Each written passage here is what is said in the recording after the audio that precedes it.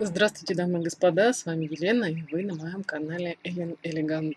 И вот очередное видео о дизайне английский сад Sempre Терезы Венслер. Я решила все-таки показать, как я вышивала этот участок, который называется мережка, обрамляющая этот участок. Для чего? Для того, чтобы вы, если будете вышивать, эм, без проблем ориентировались в схеме и знали о том, что там есть ошибка в схеме эм, выполнения данных стежков. По крайней мере, в буклете у меня были ошибки, поэтому я долго не могла приступить, не могла понять, сколько нитей нужно вырезать, а сколько оставлять, потому как и в одном, и в другом стежке были ошибки.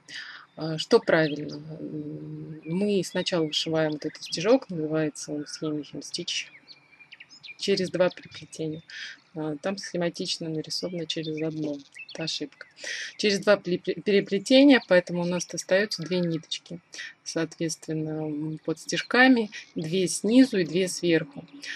И между ними, между э, верхним рядом и нижним, остается 8 ниточек. Вот как раз эти 8 ниточек мы должны удалить. На, на схеме нарисовано было там более 10, что ли, этих ниточек. Я все не могла понять, как все-таки это все делать, чтобы не ошибиться. А точнее, со мной сработала полностью примета 7, 7 раз отмерь, один отрежь. И кто мне помог, спасибо большое. Я написала вопрос везде, по всем соцсетям, но отозвалась девочка ВКонтакте. Я ей очень благодарна. Написала, что это схематично на самом деле.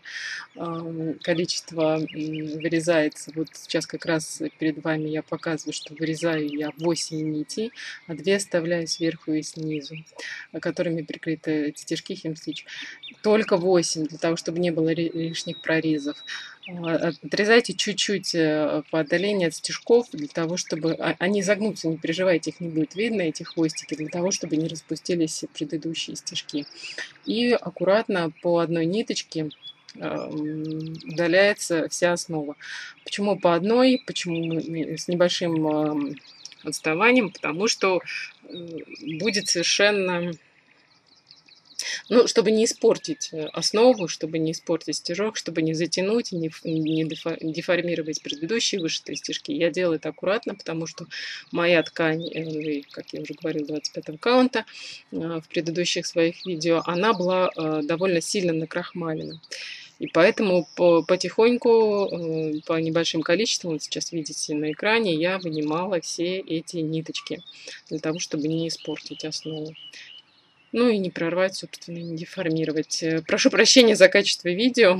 Не получилось снять э, достаточно хорошо. Вот, потому что, во-первых, это было искусственное освещение, во-вторых, э, ну, там много было условий, которые не помогли, а наоборот, препятствовали. Но, тем не менее, несмотря на качество, я думаю, что вы поняли, о чем э, я э, говорила, что имела в виду. Вот видите, с другого ракурса показываю, как я вынимаю эти все ниточки. Вот, для меня это был такой волнительный момент, не испортить, не, не, не вынуть лишнего, не вынуть того, что не нужно. Вот, потому что э, немножко по-другому себя вела ткань, она была довольно жесткой для работы. Я думаю, что если вы будете работать на Лугане, антиквайт 25 аккаунта, та, которая а, указано в ключе, наверное, работа будет гораздо проще.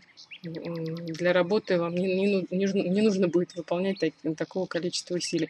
Далее про стежок-мережку а, хочу сказать, что если вы хотите легко закреплять ниточку, то берите обязательно величину стежка, величину э, ниточки, это как раз э, пиролия, да, и крю, который э, выполняется обводкой этой мережки, обязательно больше, чем расстояние тех прямоугольников, которые вы будете обшивать. Для чего? Для того, чтобы крепить в углах, а не посередине, потому что это, если будете крепить посередине, это вызовет деформацию в мережке, поэтому не нужно этого делать. Но вот я на ваших глазах а, вынула практически э, всю верхнюю часть. Э, делаю это впервые, делаю это впервые с вами. Надеюсь, что а, вы поняли, о чем я говорю. Если вам непонятно, пишите комментарии в любых соцсетях, где увидите это видео. Если я буду там онлайн, если у меня будет возможность, я обязательно отвечу. Но сразу говорю, что э, выкладываю на многих платформах, э, иногда даже в Инстаграм, но э, особенно на YouTube, YouTube, Яндекс.Зен, ВКонтакте и так далее. И поэтому не всегда я захожу в эти соцсети.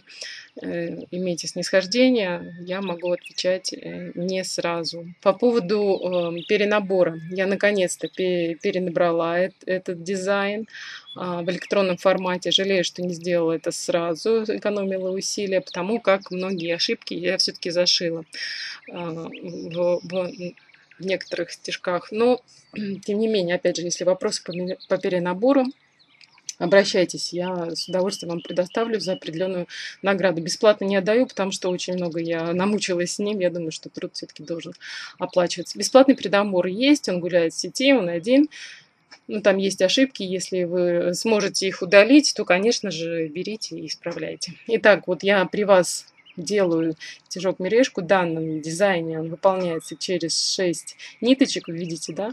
Я провожу под шестью ниточками переплетения и делаю петлю.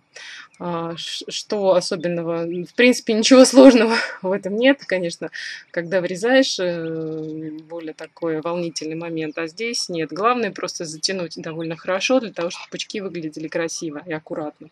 Вот. Э, я при вас, видите, заканчиваю полностью работу, последние стежки выполняю.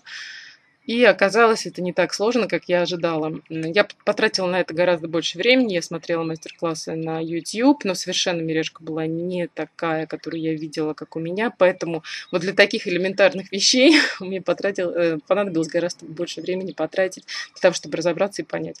Вот, собственно, с этой целью я и делаю это видео. Надеюсь, вы мне благодарны, несмотря на то, что качество, конечно, желает лучшего. Вот. Ну, на, надеюсь, что вы будете вшивать и не будете волноваться по этому поводу. Да, кстати, если у вас есть какие-то желания по замене стежков, обращайтесь. Я с удовольствием с вами сделаю новый перенабор и добавлю в этот дизайн свои стежки, которые вы хотите. Итак, э, мережка уже сделана, и хочу сказать о том, что, э, дополнить эту информацию, которую вы увидите отснятую по процессу о том, что длина нити, мне повезло, да, что у меня это все вот в бобинках, можно а, а, отмерять сколько угодно. Итак, длина нити должна быть равной либо вот, горизонтали, либо вертикали, чтобы заправлять в уголках. Понимаете меня, да? Потому что если вы будете заправлять, как я заправляла в середине, где-то шва здесь прятать ниточку, она тянет. И ее довольно сложно так вот ровно сделать для того, чтобы вот эту основную нить посередине она не тянула ни влево, ни вправо. Это по поводу длины. Итак, э, вот крупной ниточкой, более крупной ниточкой, восьмерочкой, не видно, наверное, да, не сфокусировался. Э, вот она, восьмерочка крыле. Вышиваются все квадратики по углам а вот более мелкой, 12 номер, вышивается вся мережка по периметру. Итак, эм, самый сложный вопрос, сколько нитей надо было удалять. Почему сложный для меня? Потому что мережку я вышивала в первый раз и, конечно же, руководствовалась схемой. Но, к сожалению, схема не соответствует реальной схеме. Здесь, как и мне уже объяснили ВКонтакте, девочки, благодарю вас за помощь те, кто вышивали, вообще очень отзывчивые девочки. Вот единственные, кто ответили, я по всем соцсетям спрашивала. Спасибо вам большое. Благодаря вам я разобралась. Итак, здесь схематично она не соответствует. И вот это вот описание шва, который идет по, э, по боку, да, по бокам по бокам. Точнее, мережки, оно тоже не соответствует действительности, то есть количество нитей, которые, через которые э, прошивается, это все неправильно не сделано. Не смотрите на эту схему. Смотрите и считайте по этой схеме и, читай, и читайте описание, здесь подробное, конечно, вот именно э, в Cardwork Border – это описание именно мережки. Вот видите, вырезаемый бордюр, да, дословно, если переводить, написано здесь. Здесь обращаю ваше внимание, что указано, что количество нити, которое вырезается, это 8. Э, Сейчас найду. Да, вот, вырезается 8 э, нитей.